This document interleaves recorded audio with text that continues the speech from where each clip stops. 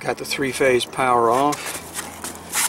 Okay, I'm going to show you a wire just replacing this three-phase air conditioner. Power's off. What happened here is that this is a new uh, ring connector I've got on here and a brand new wire.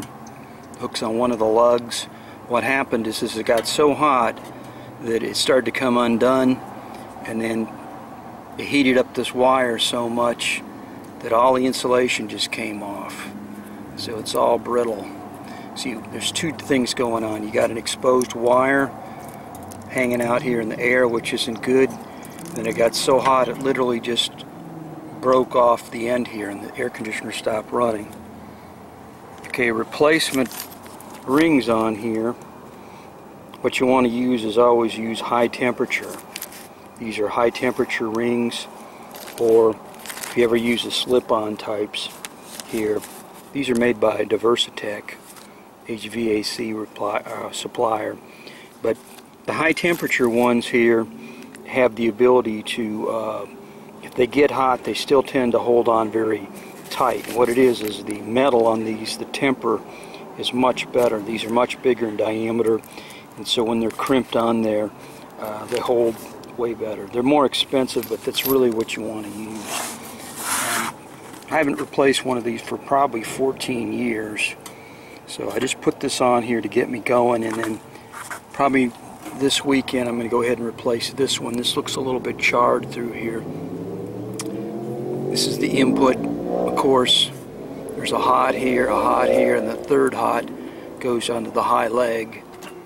And you can see this one here has gotten hot, and so what it does is it tends to get kind of screwy looking, and then the plastic gets brittle, and then with the corrosion going on and the heat, it tends to loosen up and then it tends to get really hot and generally just breaks off. It doesn't necessarily always catch on fire or anything, but I'm going to go ahead and this weekend or tomorrow go ahead and cut this off and then pull that in and put a new connector on there with one of these high temperature rings.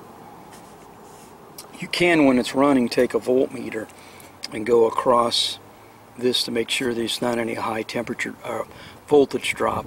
Sometimes that's a giveaway, you've got a problem. Now, this contactor is pretty old. I probably should replace the whole thing. And if you ever mark on what you're going on here, you can mark inside here. It says new motor 2003, 5, 9, and 12. You can mark in there with pencil, and that'll stay in there much better than a Sharpie tends to sometimes with ultraviolet uh, disappear. Pencil seems to be very robust. See, I've got one, the cap that I put inside. Got some notes. New fan. That's actually the fan, propeller fan. And you may wonder why the motor on here says 2005. That was, this is one that died to old age in 2003. 2005 died due to hollow water we got and surges due to Katrina. This one lasted four years.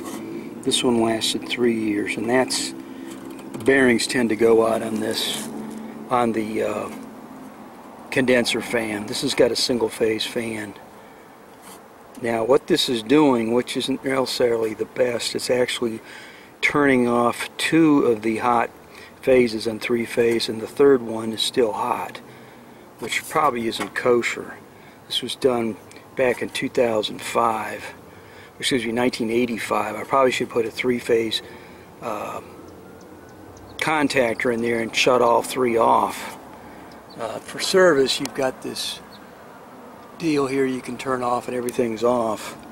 But this is the way it came from Carrier. I guess they, on a three-phase breaker, they just turn two of the phases off, which is, you got to be careful because um, if you didn't turn off the safety here, uh, you've got a hot here and a hot here.